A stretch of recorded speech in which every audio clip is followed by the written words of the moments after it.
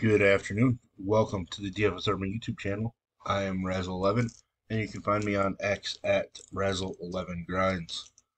Going to take a look at some pitching for today, the 12th of April. It is Friday. We do have a regular main slate. We did already lose one game from this slate, uh, so it is down to an 11 game main slate here. Um, and for those of you that are new to this video, uh, this is kind of my first look at pitching options for a slate. I focus primarily on DraftKings uh, since that is where a majority of my play is, and that is where I believe uh, pitching is even more important. So uh, you can kind of take my my DraftKings pitcher pool and cut it in half, and that kind of gets you a FanDuel pitcher pool. Uh, but like I said, for the sake of the video, we focus on the DraftKings pricing. Uh, as you see, the Cleveland New York game rained out. It annoys me that as soon as it gets rained out, DraftKings then lists every pitcher on each team in the pitching pool. Uh, so to make it easier for us to read, we'll just go through and highlight every other team on the slate so that we can look at the guys that are actually pitching this evening. Uh, from a weather standpoint, that should pretty much do it. Uh, there's some rain potentially in Boston and New York. Nothing too major. There's a lot of wind out there. Um, definitely something to pay attention to. A couple cold weather games in Boston and Chicago. Uh, but nothing really holding me back off of pitching now that we lost that Cleveland and New York game. So we are going to start here at the top. Uh, case can be made for the top four guys for sure. Uh, I'm not sure how I feel about Bryce Miller against the Cubs. Cubs have been scoring some runs, but the Brewers were rolling pretty well, and he shut them down. Uh, so it is interesting to see. Uh, I don't remember off the top of my head his his home numbers last year, so it'll be something that I need to dig into a little bit more but he is sitting with a K prop of five and a half, uh, which isn't a massive K prop on the slate, but uh, it's solid enough. He is a minus one twenty two favorite. Game total of just eight right now. Uh, I think we can play some pitching in that matchup. Uh, I think Bryce Miller has more upside than Wicks, so I do think he's certainly viable. Peralta, strong upside, but he's taking on a tough Baltimore squad. game's basically a pick 'em right now, but the wind is blowing out to right field in Baltimore uh, at 19 miles an hour. It's a strong number. Peralta's K prop is sitting at, uh, I believe it was six and a half, but let me find it again. Yeah, it is sitting at six and a half. Uh, so strong K prop, but to be honest, right now I might be leaning towards a fade of Peralta over Miller but I think I'm going to end up playing both of them.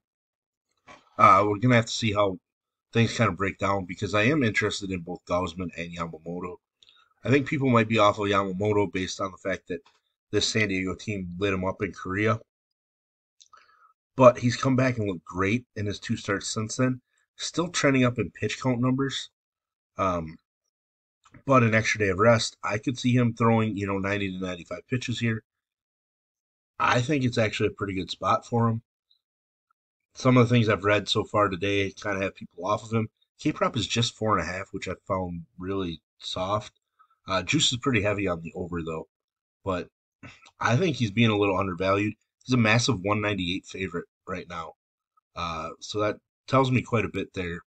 So I think I'm going to end up being higher, quite a bit higher than the field on Yamamoto. Uh, for those that are familiar with how I do my my notes and my player pools. Uh, the pitchers that I do play, I do go over the our projected field weight. Uh, but Yamamoto feels like a guy I'm going to be heavily overweight on at this point. Uh, again, this is the first look. Things can change over the next few hours as I dig in more. Uh, next guy, Kevin Gausman, has not looked strong. Um, threw a lot of pitches in just four and a third against Tampa Bay. Uh, I don't really remember the reason why he came out that early other than he only made one spring start. Um, was really rough against the Yankees here.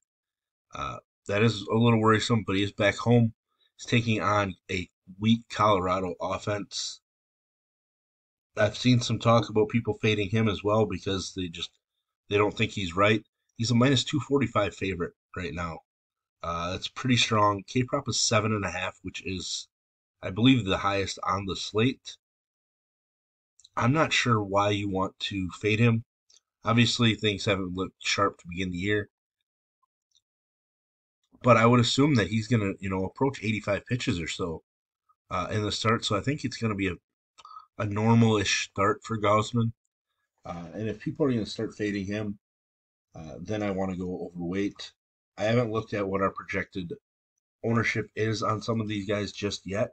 Uh, I like to I like to get a look of the the slate before I start looking at some of the projected ownerships and that sort of thing. I just happen to see some things on on X uh, of people sending out their thoughts on how they're going to approach some of the pitching. Uh, so maybe Gausman ends up super popular. I'm not sure. Kind of scrolling down, I'm going to be looking to fade Max Fried. He's looked horrendous. I know it's Miami. Miami hasn't been all that dangerous, but Fried just does not look right. You know, so unless I dig in and his career numbers against the Marlins are elite, I, I just don't really have any interest in him. I do have some interest in Wacha. Not a ton of. I think, I mean, we might be chasing this kind of performance out of Wacha all season long. White Sox pretty weak, so it's an elite performance. I'm not sure that he approaches 34 again this year, to be honest. Um, I don't know that he's going to be popular in any way, so maybe he becomes somebody that we're interested in.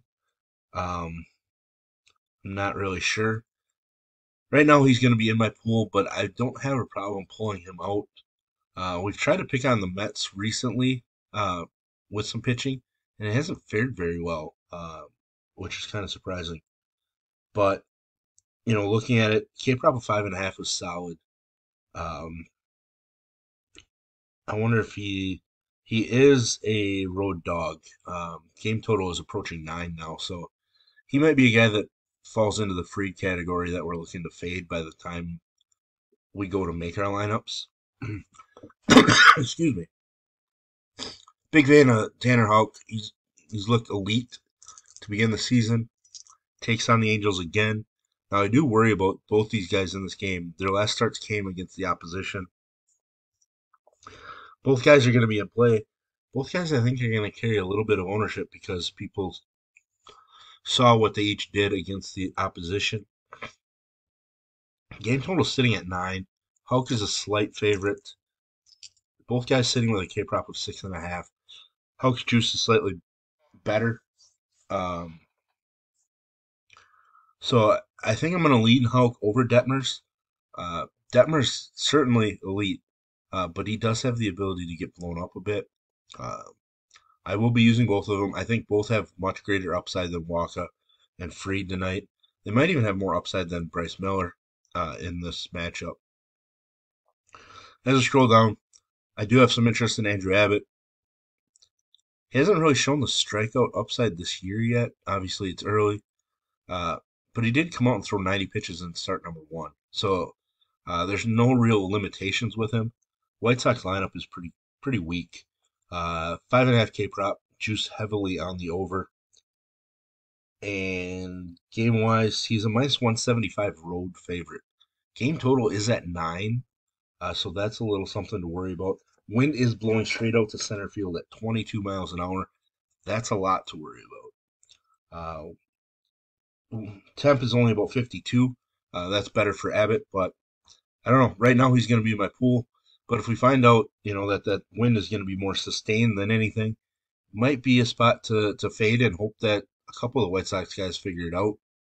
Uh, problem is, is the hottest White Sox bat, I believe, is Gavin Sheets right now, and he's a left-handed hitter. Abbott being a left-handed pitcher, I'm not sure Sheets would even be in the lineup. So something to pay attention to.